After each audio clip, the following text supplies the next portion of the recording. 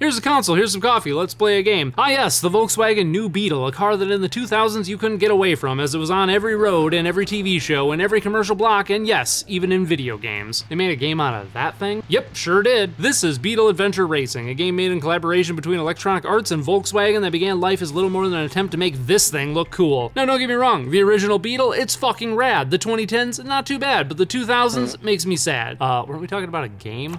Uh, right. If you manage to look past the questionable origins of this game, what you find with Beetle Adventure Racing is one of the best racing games on the N64, a console known for its slew of excellent racers. But what sets this game apart is its phenomenal course design, which is easily the best I've ever seen. Each track has so many twists and turns and branching paths, and branching paths within branching paths, shortcuts, hidden secrets, visual gags, and constantly changing scenery, all of which combines to deliver an experience that ensures that no two runs through a level will ever play out the same. This is the kind of game that never stops surprising you and never stops being a joy to play. Yeah, it's pretty damn good.